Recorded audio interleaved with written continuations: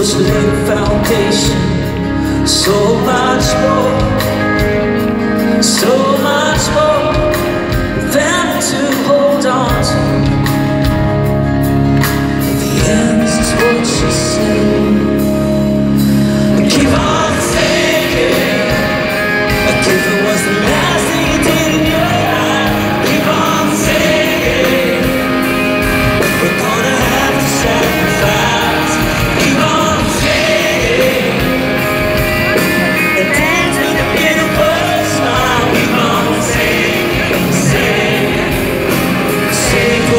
the rest of your life.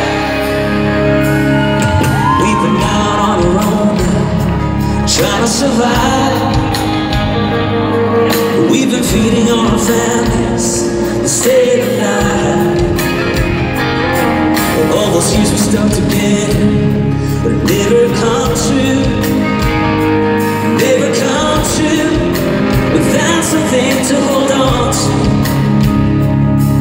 Yes, in the end, this is what she said.